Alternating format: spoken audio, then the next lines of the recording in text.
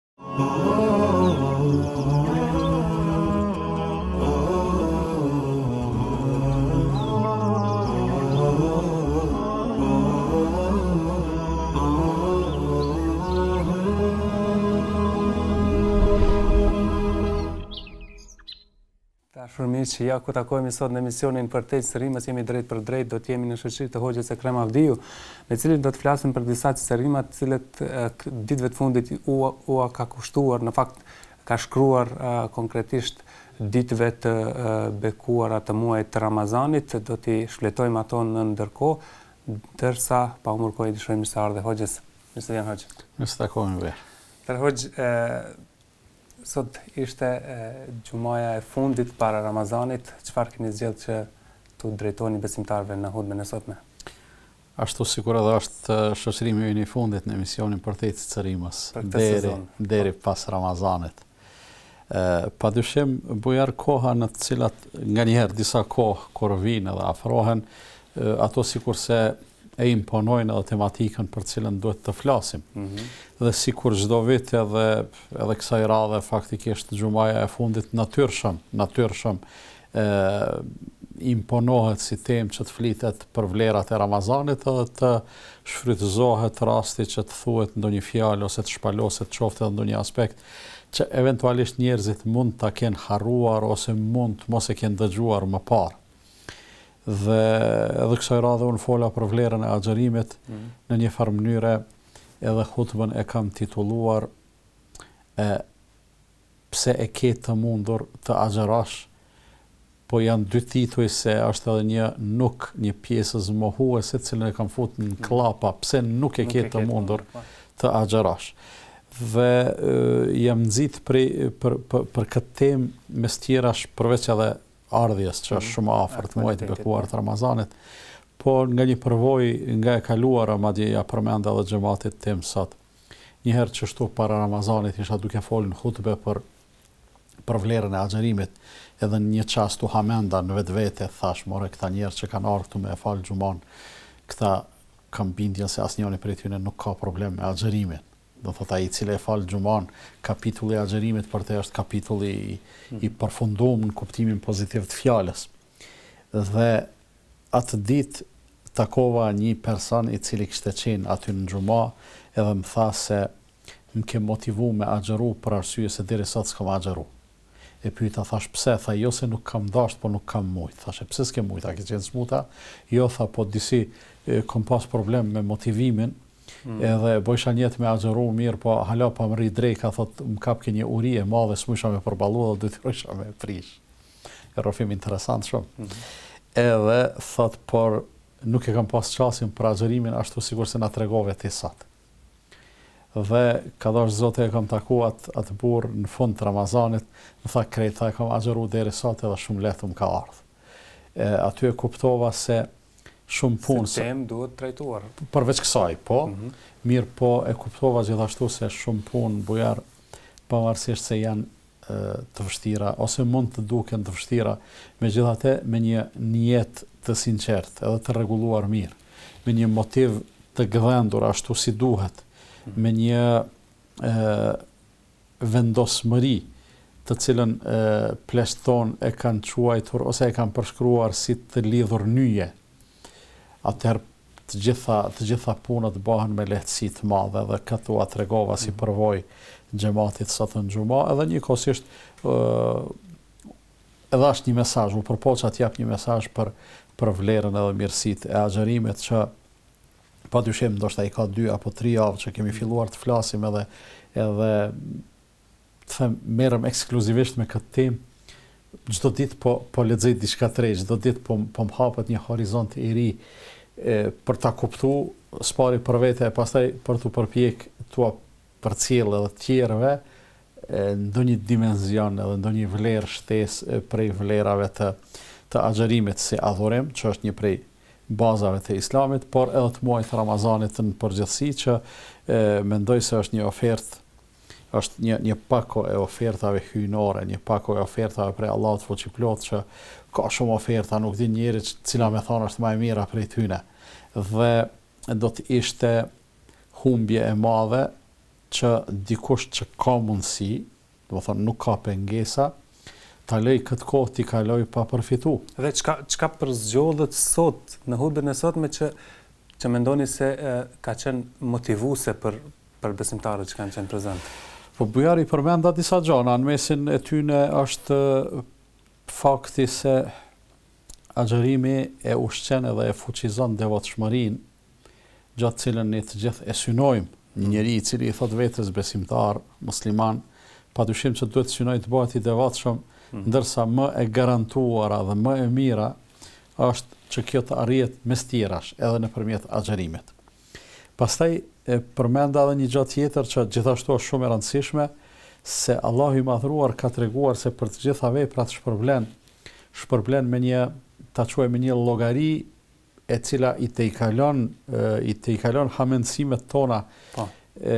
me një llogari hyjnore të themi, mm -hmm. 10 fish, deri në 700 fish, deri, deri shumë fish pa numër, mirëpo ekziston pastaj të agjërimi një përjashtim, ku Allah i madhëruar thotë sipas asaj që ka ardhë në hadith kudsi, Illa sawm fe innehu li we ene exhzi bih, përveç agjërimit, ngase ai bëhet ekskluzivisht për mua dhe unë shpërblej për te. Edhe pse edhe për shpërblime tjera është. Edhe punë tjera janë ekskluzive për Allahun, mirëpo Bujar unë kam mendu shumë për këtë dhe edhe sa herë vjen Ramazani edhe pa Ramazan e mendoj për këtë citat, çfarë kuptimi mund të ketë kjo që Allahu e ka veçu agjërimin në këtë formë, përveç agjërimit se ai është për mua, Dhe i kam pa disa të them disa sqarime që i kanë dhënë dijetarët mes tjerash se agjërimi është shumë diskret edhe nuk bëhet ndryshe veçse për Allahun fuqiplot. S'ka mundësi njeriu s'ka mundësi njeriu të reklamohet me pra, agjërim. Pra, veprim veçse i sinqertë. Po pra.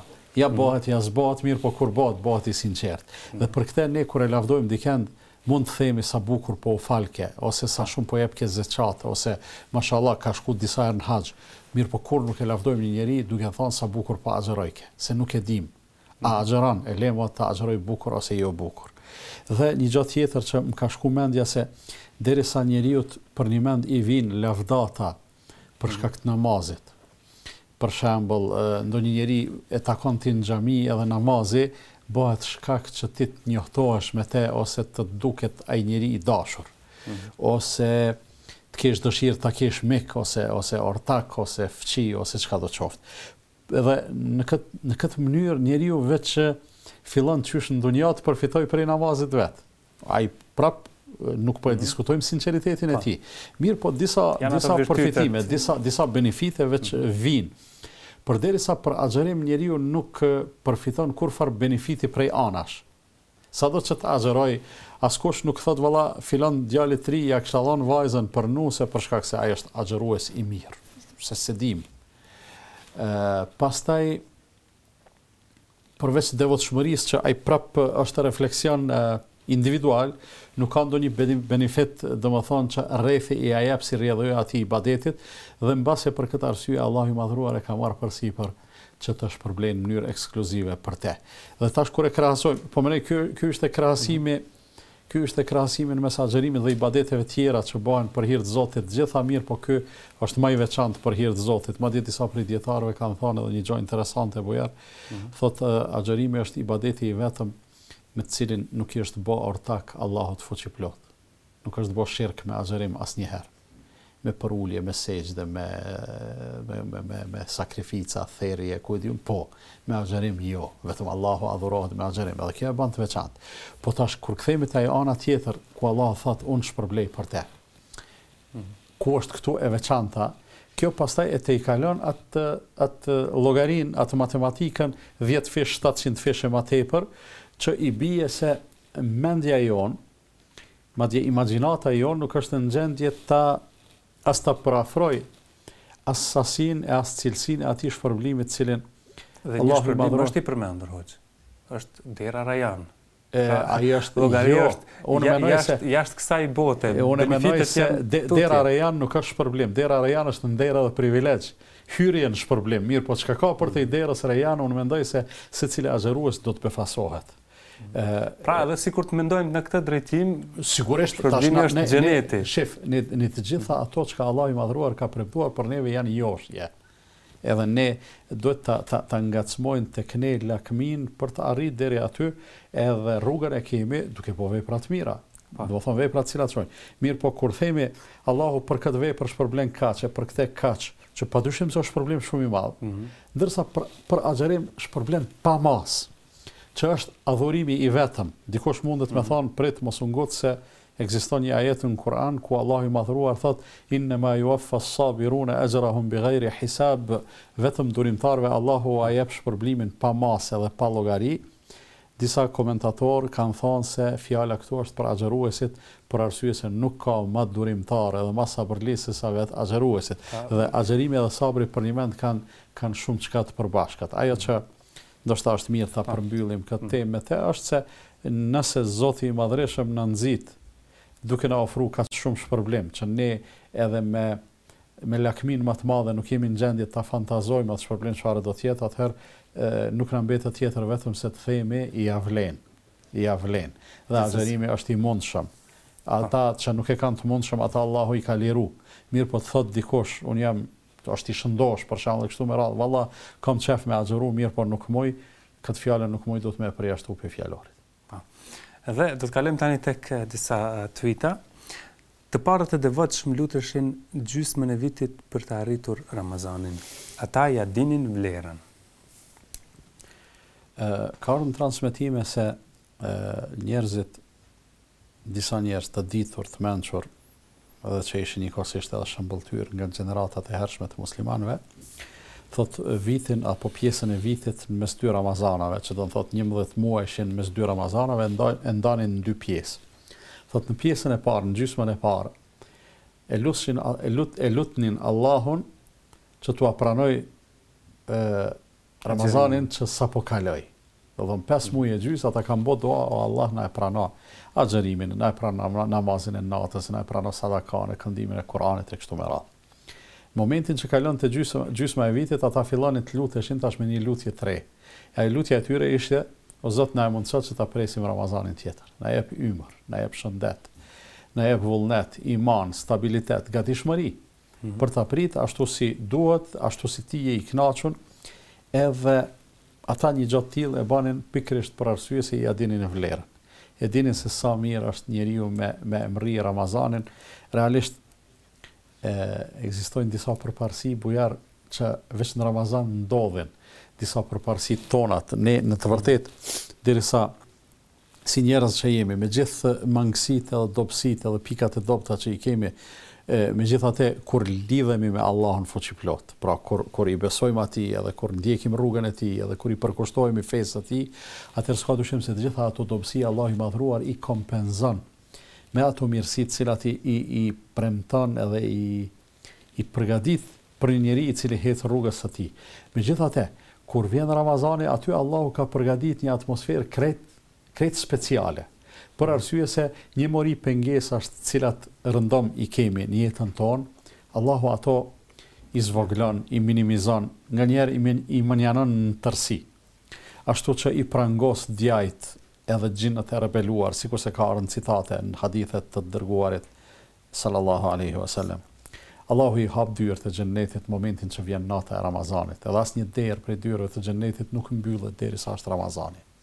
Allahu i mbyll dyert e Xhehenemit dhe asnjë derë nuk hapet derisa është Ramazani, derisa të mos përfundojë. Hapja e dyerve të Xhennetit, mbyllja e dyerve të Xhehenemit, megjithatë e ka një kuptim. E ka kuptimin e një ambienti, një atmosfere në të cilën ndodhet besimtari individ edhe komunitet gjithsesi dhe e ka të lehtë edhe të mundshme që të bëjë vepra të mira, për arsye se dyert e xhennetit janë hapur edhe në një farë mënyre ti je fut në Ramazan në panairin e xhennetit, në panairin e xhenetlijve. Aty veç shkon njeriu dhe zgjedh ku po don. I bon, si me thonë, rezervimet e duhuna, rezervimet e nevojshme për xhennet, nuk ka tjetër alternativë. E tash në atë panair të gjithë fitojnë, për arsye se të gjitha ofertat janë në një vend. Por mund të ketë edhe ndonjë që shkon kot, pa qëllim, pa synim të qartë. Po. Shkon edhe bredh thjesht për ta për ta humbë kohën, ose për ta ushqy kërshërinë, po jo për të arritë diçka, e tash nëse dikujt i ndodh kjo, vije Ramazani, edhe përfundon Ramazani, e ai nuk përfiton asgjë, ai as nuk shkarkohet prej barrëve të mëkateve, as nuk fiton sevape e vepra të mira, atëherë çka me thonë për te, përveç, për te, ate që ka thonë pejgamberi sallallahu alejhi dhe sellem si përgjigje n'lutjen e Xhibrilit, i raftë hunda në tokë atij të cilin E arrin Ramazani dhe del Ramazani nuk i falen gjynahet. Pse e kanë bo këtë lutje dy krijesat ma të mira, Xhibrili dhe Muhamedi, alejhimus salatu ves selam? Pse? Për arsye se Allahu çdokujt po ja jep këtë mundësi e ky s'po don, po refuzon. Çka mbetet mo me u lut na për te? Çka mbetet me me shpresu mo mo për te kur Allahu i Madhëruar tetë dyert të Xhennetit i ka hap e shtatë dyert të Xhehenemit i ka mbyll, edhe ata që na qesin nërkamza gjatë rrugës Allahu i ka lidh Edhe na ka thonë o robt e mi ja ku është xheneti hecni edhe dikush prap nuk don atëher problem është që që ai çfarë do mirësie që t'i ofrohet problem është që ta që ta shfrytëzojë atë pastaj. Po. Një tjetër shkrim veprat e mira e kanë edhe kohën e duhur. Është mirë të dihet koha për namaz, lexim të Kuranit, lutje etj. Secilës punë jepi kohën meritore dhe mos lejo të zhvendosesh. Pra këto disa çështje që duhet t'i kemi parasysh për Ramazan. Po, kjo kjo është e përgjithshme, po mhm. për Ramazan padyshim që e ka theksin edhe fokusin e vet.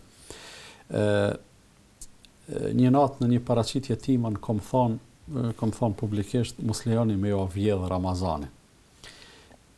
Çka do të thotë me ta vjedh Ramazanin? Do të thotë me me ta shfrytëzu kohën, dikush, kushdo qoftë, pa t'lënë me e bo, pa t'lënë me e bo ma të mirën. Nganjëherë vjedhje e Ramazanit është që ti me flejt gjumë, edhe thjesht nuk e bo as keq, po s'ke bo mirë. Pa, për arsye se koha është begatia e vetme e cila, e cila kur kalon, kur shkon, nuk kthehet ma, është e pakompenzueshme. Po vjedhje e Ramazanit është edhe nëse dikush shkakton tek ti zhvendosje të atillë që në vend se të bësh një punë të madhe ose një punë e cila e, mund të ketë shpërblim shumë të madh, ti merresh me një punë prej cilës kime fitu pak. Edhe kjo është humbje.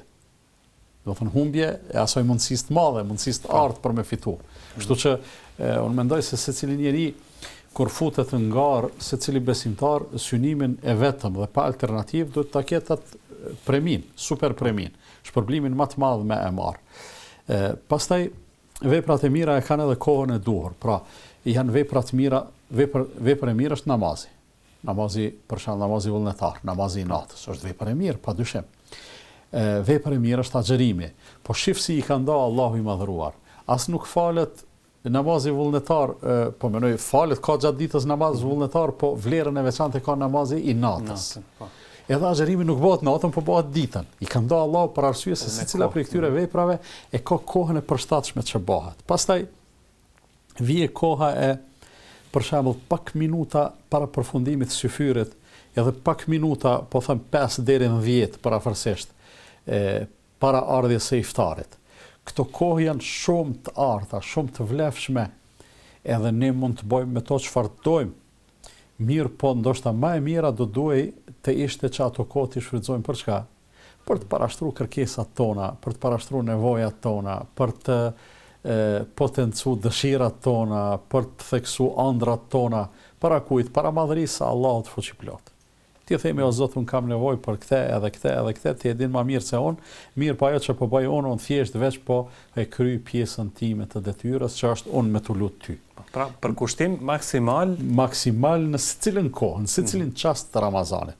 Ditën me lexu, me lexu Kur'an, me lexu përkthim, me lexu koment të Kur'anit, me lexu hadithe, me lexu dituri të dobishme, madje Nëse gjatë bisedës para disa ditëve me një me një djalë tha kam provime në Ramazan, thashë shumë mirë, shumë mirë që ki provime në Ramazan. Veç bone nijet edhe kur të mësojsh për me e përgatit provimin, je tu bo ibadet. Pse? Se edhe ajo është punë e mirë. Një punë, çfarëdo që të jetë, që është punë e mirë, e kryen jashtë Ramazanit e ka një vlerë të caktuar, në Ramazan e ka vlerën të shumëfishuar. Kështu që bëne bëne nijet që një kohë të caktuar ndaje për të mësu për provimet e e fakultetit ose të studimeve të tua. Le të jetë ajo një lami që nuk lidhet drejtpërdrejt me fenë, nuk ka absolutisht kurrfarë problemi, hiç. Ti ndaje atë kohë. Kërkues i diturisë, e rëndësishme. Po pra, je kërkues i diturisë dhe je tu bë punë fisnike. Po çdo punë fisnike Zoti ta shpërblen. Se fundja, as edhe këto punë fetare që i bëjmë ne, Allahun nuk e bëjnë ma Zot. Kështu që thjesht është punë e mirë. Derisa nuk është punë e keqe, është punë e mirë dhe Allahu ka me të shpërbly edhe për te. Kështu që, njeriu mëson në Ramazan, njeriu punon në Ramazan, njeriu është aktiv në Ramazan, Ramazani nuk është për pasivitet. Nuk është e domosdoshme ose nuk është Pra skajshmërisht e nevojshme që njeriu detyrimisht në Ramazan me marrë pushim. Jo, Pejgamberi sallallahu alejhi ve sellem në Ramazan ka udhëtu, në Ramazan ka luftu, në Ramazan ka bo punë të rëndomta që nuk është ndalë prej asnjë aktiviteti ditor që e ka pas, po thjesht edhe intenzitetin e ibadeteve e ka shtu pak, e ka shtu në mes tjerash edhe atë aktivitetin social, I Dërguari sallallahu alejhi ve sellem ka qenë gjithmonë bamirës edhe solidar, mirëpo, mirëpo në Ramazan ka qenë ma bujar se zakonisht. Këtë duhet ta bëjmë edhe ta aplikojmë edhe ne edhe ta shndrrojmë Ramazanin në një aktivitet ma të shtum sesa kohëve tjera e jo thjesht të synojmë ose të tentojmë të shkëputemi prej kësaj bote, Duke e synu xhennetin me me ta quaj vepra thjesht të kufizume. Jo, ibadeti le të bëhet pa dyshim. Agjërimi në vetvete është ibadet. Domethënë, prej agimit të mëngjesit, edhe deri në perëndim dielli ti je tu bo ibadet edhe pse mund të jesh një kohë të caktuar duke pushu ose duke fjetë ose kështu me radhë. I agjërueshëm, është ibadet. Madje ibadet për të cilin Allahu shpërblen pa masë, sikurse e përmendëm më herët. Po pastaj i fal i fal pesë kohët e namazit, me sunetet para, mrapa, që kanë namazet, domethënë me nafilet e ndryshme, e bën dhikrin pas namazit, tesbihët pas namazit, i bën lutjet e ndryshme, e përmend Allahun në mëngjes edhe në mramje, lutesh para iftarit, lutesh para syfyrit, e kap Kur'anin e lexon, i shfleton mesazhet, porositë e Allahut fuqiplotë që kanë ardhur për ty edhe për mua. Domethënë nuk kanë ardhë për një gjeneratë që kanë jetu pesëmbëdhjetë shekuj përpara dhe më nuk vlen për asnjërin. Jo, për secilin njeri në fytyrë të tokës që do të jetojë deri në Kijamet ato mesazhe janë janë aktuale, edhe janë të vlefshme, edhe janë interesante, edhe janë burim frymëzimi. Andaj ne duhet t'i duhet t'i shfletojmë ato gjatë ditës edhe natës. I lexojmë në origjinal, kush din, i lexon për bereqet edhe për sevap, po i lexojmë edhe në gjuhën që e kuptojmë për ta kuptu. Domethënë e ke përkthimin, i ke komentet, i ke Edhe kështu llogaritet ibadet, normalisht. Nuk ka pikë dyshimi, nuk ka pikë dyshimi. Ibadet është çdo vepër me të cilën ti e madhëron Allahun fuqiplotë, por edhe çdo vepër e cila është ndihmesë për ty për me e madhëru Allahun. Që do ta marr një shembull shumë të thjeshtë. Po. Namazi është ibadet. Namazi është ibadet. Mhm. Pastrimi për namaz, me abdest ose me gusëll, a është ibadet? Po, është ibadet ani pse në esencë është parapërgatitje për ibadet, është në shërbim. Mm -hmm. Do të thonë edhe abdesti ose edhe larja prej prej prej xhunubllëkut me nijet të ibadetit, llogaritet ibadet. Pse? Se me me abdesti thjesht pastrohesh mirë po derisa është në shërbim të një ibadeti e edhe ajo llogaritet. Patyshim që po. Po, edhe pak do të vazhdojmë në këtë pjesë të parë, po e lexoj edhe një një tweet tjetër. Tash që po vjen Ramazani, të gjithë heqim dorë nga veset dhe shprehitë e këqija. Le të jetë ky pendim i sinqertë prej mëkateve e jo pezullim i përkohshëm i tyre. Pra një tweet tjetër që keni shkruar këto ditë. Apo unë vetë çka kam dashtë me thonë. Po. Për te kësaj. Bujar, elhamdulillah që ashtu sikurse thashë, Ramazani është një ambient shumë i veçantë. Mm -hmm. Edhe njerëzit këtë e përjetojnë. Ka njerëz që janë të sprovuar me me me punë jo të mira, Krejt kemi gabime, padyshim, po janë disa njerëz që i kanë disa vese me të cilat jetojnë një jetë. Po subhanallah, në Ramazan heqin dorë prej tyre. Për shembull, ka disa njerëz që e konsumojnë alkoolin, po në Ramazan nuk e pinë. Edhe kjo është një një respekt për Ramazanin, është një respekt për Allahun fuqiplot. Ose Hajt s'po i marr shembull këta po e marr shembull veten edhe edhe neve që në një farë mënyre përpiqemi të jemi më të përkushtuar në në në jetësimin e mësimeve fetare. Mm -hmm. Në Ramazan na duket se është ma haram përgojimi, bartja e fjalëve, e gjana të ngjashme, që fatkeqësisht Allahu i ka klasifiku këto si të randa, si mëkate të randa, ani pse njerëzit për shkak se bohen me lehtësi, konsiderojnë se nuk janë gjithaq gjithaq të rrezikshme.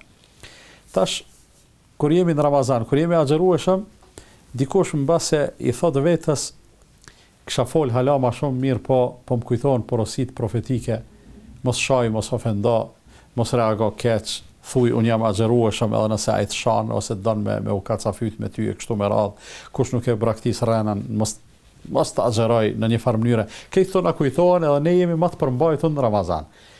Këto, para se me ardhë Ramazani, ne vendosim edhe themi, Elhamdulillah që po vjen Ramazani, do të përpiqemi të pastrohemi prej këtyre. Mirëpo, mirëpo, na duhet me e bo dallimin prej tash, a jemi tu dashtë qëto veprime me i pezullu përkohësisht? A jemi tu dashtë me thonë se une përgojimit do t'i them jo tridhjetë ditë? Pastaj ditën e Bajramit do të kthehna prapë sikur kam qenë ma herët, para Ramazanit.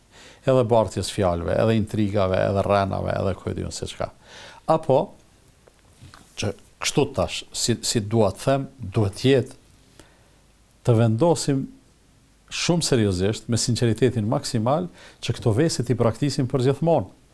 Dhe një gja e tillë është E mundshme, le që është e mundshme, është e lehtë, për arsye se nëse ke gatishmërinë edhe ke forcën që këto gjana ti mënjanon për tridhjetë ditë, për tridhjetë ditë këto t'shndërrohen në shprehi.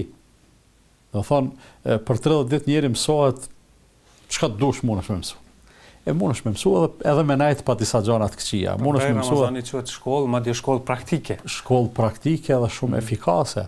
Për arsye se të lidh drejtpërdrejt me krijuesin e gjithësisë, nën mbikëqyrjen e vazhdueshme të të cilit je, njëzet e katër orë je në mbikëqyrje, edhe ti këtë e ke e ke në mënyrë, po menoj e ke të gdhendun në zemrën tande, nuk nuk i frikësohesh kamerave, se njeriu po pat dikund kamera vëzhgimi, vrojtimi, e përpiqet t'u shmanget atyne për të ban ndonjë veprim që ndoshta ka dëshirë të mos e sheh ai i cili qëndron prapa atyne monitorëve, monitorues.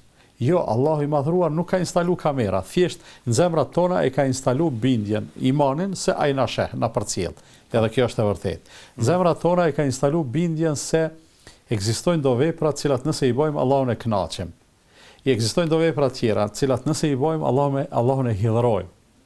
Ekzistojnë do vepra me të cilat sigurisht se ndihemi komod me dalë para Allahut Fuqiplotë edhe ekzistojnë do tjera me të cilat do të turproheshim me dalë para Allahut Fuqiplotë. Andaj kjo, ky mekanizëm është shumë efikas që njeriu që njeriu brenda tridhjetë ditësh ose brenda muajit të Ramazanit jo thjesht veç të arrijë një ngritje dhe një avancim, po ta bëjë atë me maksimumin e cilësisë. Edhe të dlirësisë shpirtërore, edhe të pastrimit të zemrës, edhe të pastrimit të gjuhës, edhe të rregullimit të shprehive, edhe të flakjes së veseve, edhe të përvetësimit të virtyteve, mos të flasim pastaj edhe për aftësimin edhe edhe edhe gatishmërinë për të bo ibadet ashtu si duhet. Me një fjalë, ai i cili Ramazanin e përjeton ashtu si duhet, do të bëhet njeri i kompletuar, mm. ose jo i përsosur, gjithsesi, se njeriu nuk mund të bëhet i përsosur, po do të bëhet njeri afër, afër të kompletuarës. Dhe kjo është madhështore. Sigurisht, pra Ramazani është kjo mundësi ideale. Ndërkohë tani të dashur miq, do të shkëputemi për pak çaste dhe ju mirëpresim juve që të na telefononi.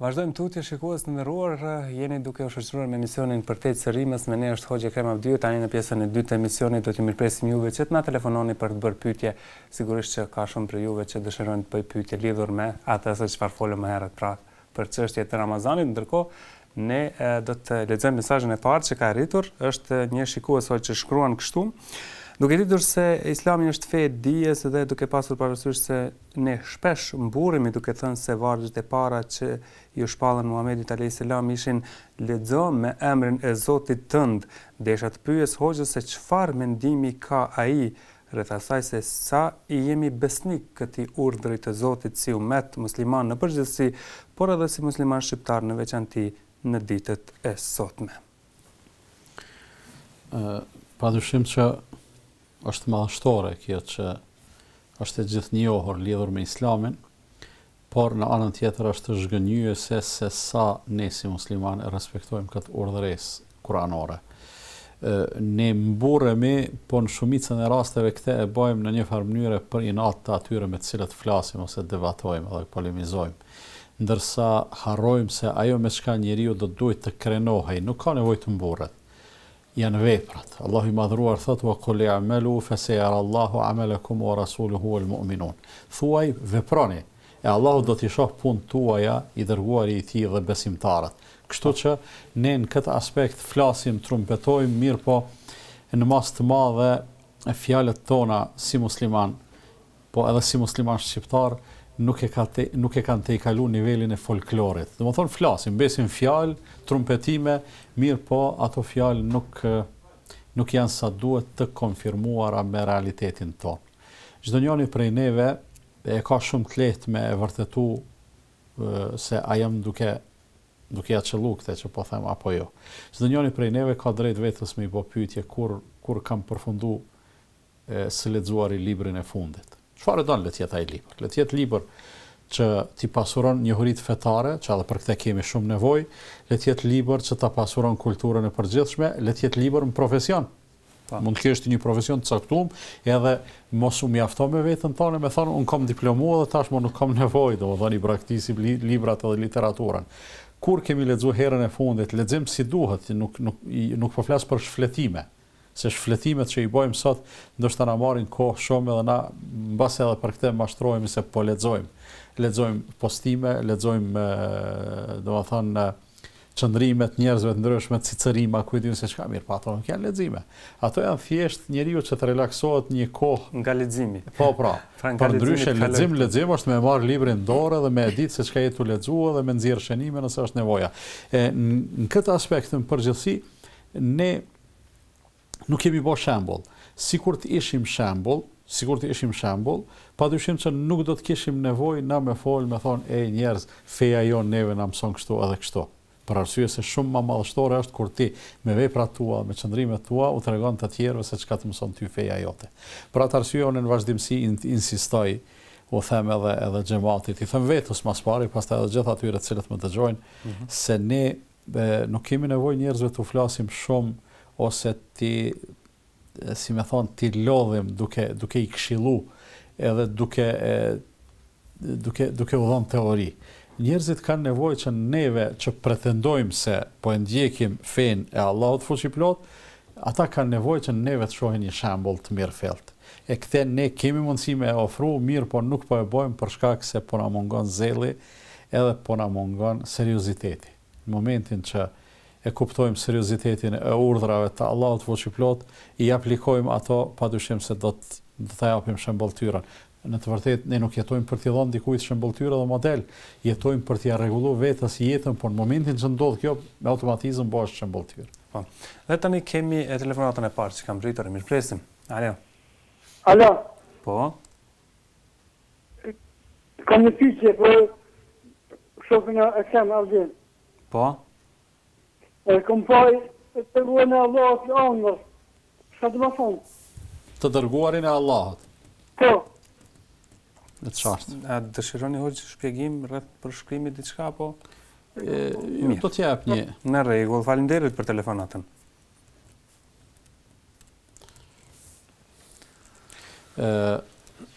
nëse e ke pa andërr të dërguarin e Allahut duke qenë ti i vetëdijshëm në andrrën tande se ky është pejgamberi i Zotit.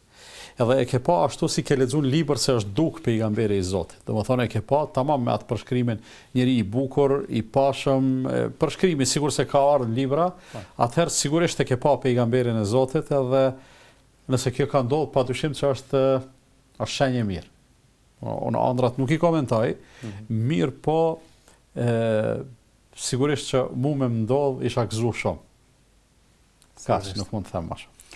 Vazhdojmë tutje, do të mirëpresim telefonatë tjetër nëse kemi.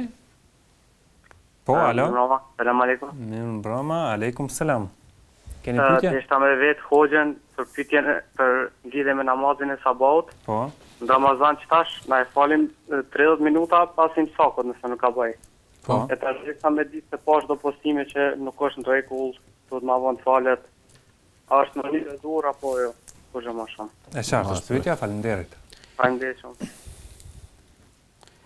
në rregull është derisa falen muslimanët edhe derisa dikush e ka e ka matë atë kohë dhe ka thonë kjo është koha në cilën duhet të falemi.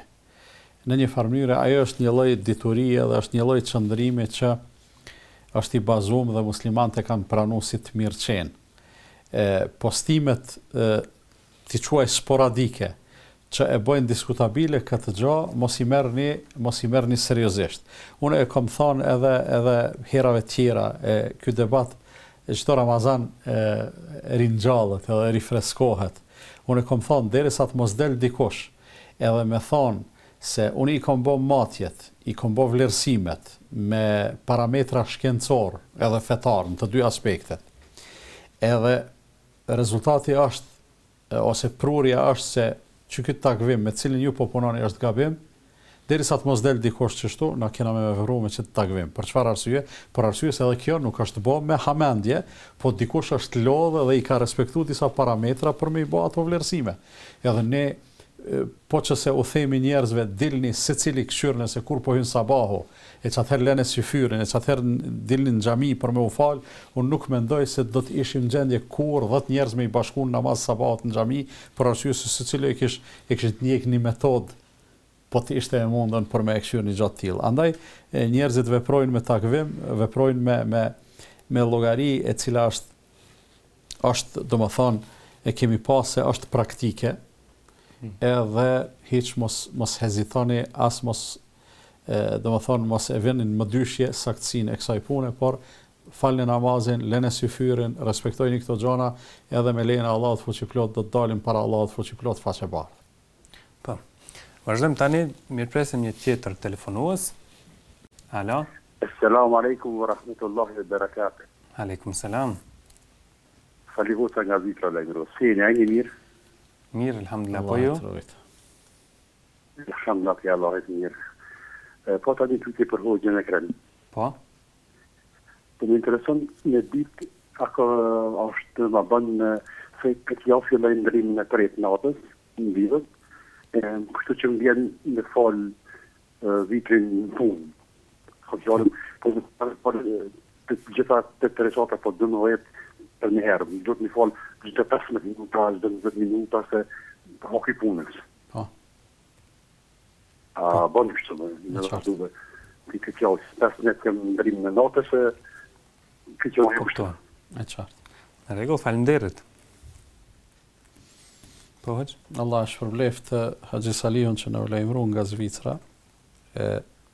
Paska kohë që s'ja kemi ndëgju zanin.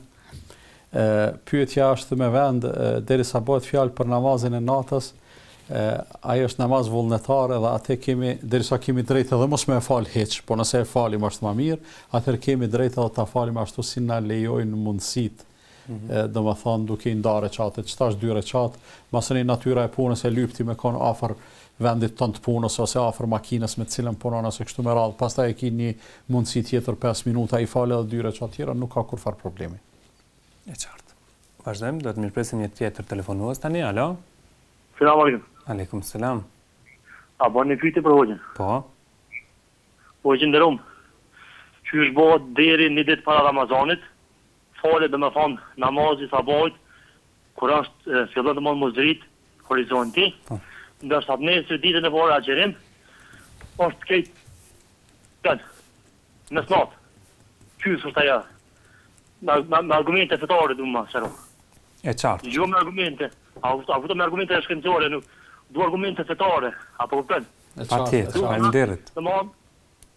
Ndej një ditë përpara e falem domethënë. Shumë e qartë është pyetja. A kupton? Po. Faleminderit për telefonatën. Alejkum selam wa rahmetullahi wa barakatuh. Po. Namazi i sabahut vëlla i nderuam, veç kisha pas qef me me e kuptu mirë edhe drejt. Namazi i sabahut sikur edhe çdo namaz tjetër e ka e ka një kohë kur fillon edhe një kohë kur përfundon edhe mbrenda asaj kohe kur ta falsh domethënë je në kohë. Për shembull, nëse është imsaku ose koha e hymjes së namazit të sabahut në ora ta zomë tre e gjysmë, po hamendësoj, edhe është lindja e diellit në pesë e njëzet, atëherë kurdo që të falsh ti prej fillimit, domethënë prej tre e gjysmë deri në pesë e njëzet, domethënë e ke falë në kohë edhe namazin e ke në rregull. Tash pyetja jote pse një ditë para Ramazanit po e falim kështu e në Ramazan po e falim ashtu. Për arsye se para Ramazanit ne nuk zgjohemi në syfyr. Kështu që e falim sabahin në kohën e fundit, domethënë para lindjes së diellit, nuk e falim në fillimin e kohës për shkak se duket ma praktike dhe është ma praktike për ata që falen në xhami namazin e sabahut. Është ma praktike me e vonu pak për arsye se njerëzit pastaj prej namazit të sabahut dalin edhe gjallnojnë nëpër puna, nëpër kështu me radhë. Ndërsa në Ramazan, pse e falim në fillim të kohës, për shkak se njerëzit janë zgjutë, kanë bo syfyr nëpër shpija, thret ezani, mbledhen e falin namazin e sabahut në xhami, edhe pastaj kush ka kohë hapësirë kohore shkon pushon edhe pak ose e vazhdon aktivitetin e vet ditor. Të dyja rastet, pra, të dyja rastet janë brenda asaj kohës, domethënë brenda kufinit ose kornizës kur falet koha e namazit të sabahut. Edhe kjo nuk ka kurrfarë kurrfarë shqetësimi lidhur me këtë punë. E qartë është. Vazhdojmë tutje. Alo. Selam alejkum. Alejkum selam.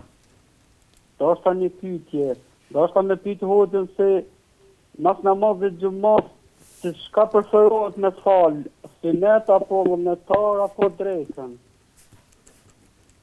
Faleminderit. E qartë. Po hoxhë. Ë fillimisht duhet të them kështu, E sunetet edhe namazi vullnetar, të dyjat janë namaz vullnetar, se suneti nuk është obligim. Pra, çdo namaz që nuk është obligim, që nuk është farz, është namaz vullnetar.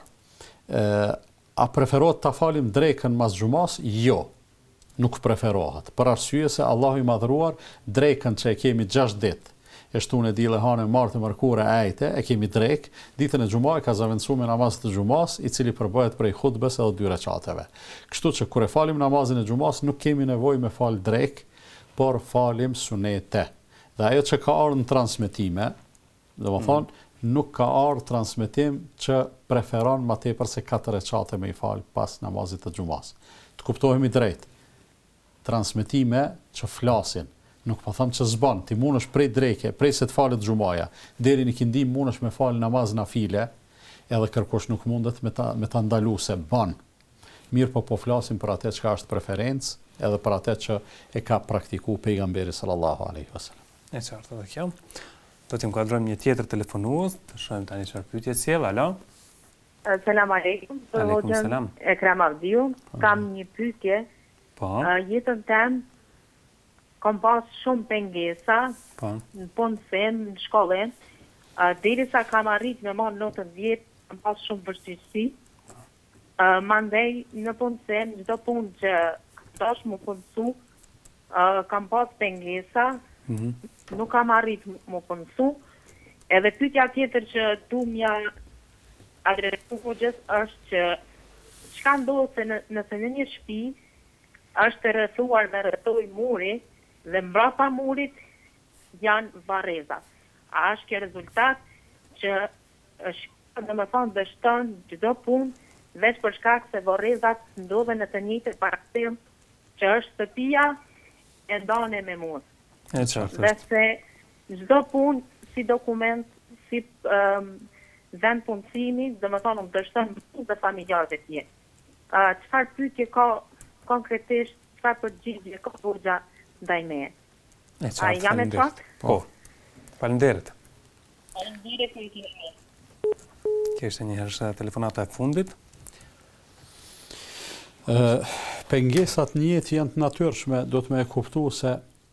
asnjoni prej njerëzve në projektet e tij jetësore nuk ia nuk ia ka dalë me lehtësi.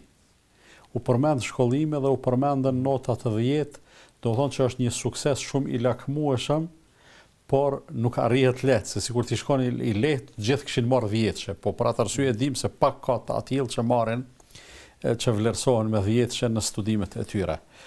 Pra është ligj jetësor që njeriu të hasë në pengesa dhe në vështirësi në jetësimin e synimeve të veta.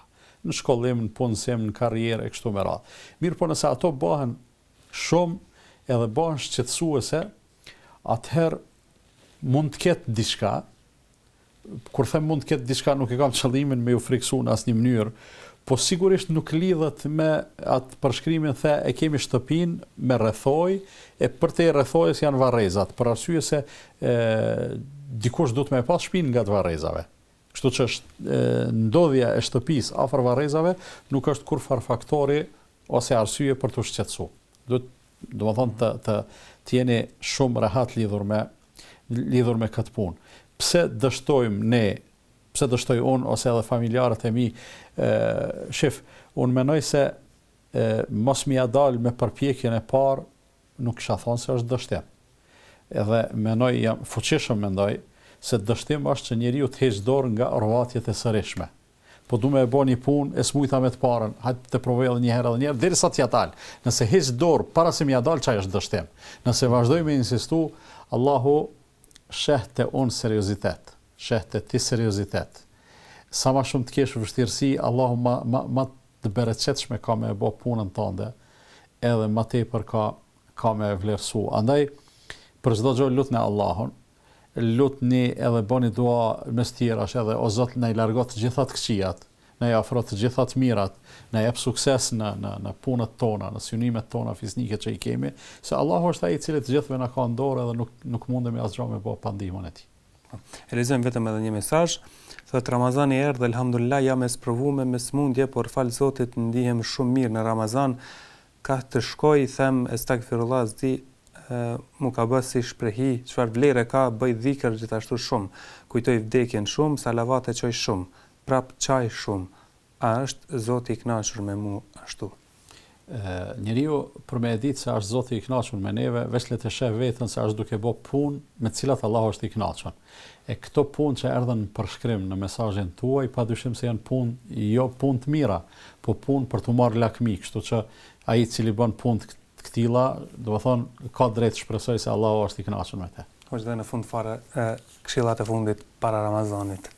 Unë kisha thënë, po mendoj për me e pas Ramazanin të lehtë, të mundshëm, po gjithashtu edhe të suksesshëm, duhet të duhet ta presim Gjithsesi, duke e lutë Allahun të na e mundësojë një gjë të tillë, duhet ta presim me bindje të fortë, pa hamendje. Asnjë njeri, sado që i duket vetja se është i dobët nga shëndeti, nuk po flas për të smutë, po dikush i duket vetja më i lodhë, mos të, mos ta çojë mendjen andej a thua a muj me ia dalë, a muj me agjëru apo jo. Veç konsidero një gjë, kush është ai i cili prej teje e ka, e ka kërku agjërimin? A është Allahu? Po. A po mendon se Allahu nuk ka me të ndihmu me i përballu vështirësitë e agjërimit? Sigurisht po. Kjo është porosia e parë. Porosia e dytë, agjërimi që megjithatë është është sakrificë. Po është një ibadet që te ne është ma i përhapun se sa namazi, ndërsa namazi është ma i lehtë, vlerën e ka më të madhe, po njerëzit më pak e bajnë, andaj ju kisha bo apel të gjithë agjëruesve filloni me e fal namazin, edhe atë rregullisht.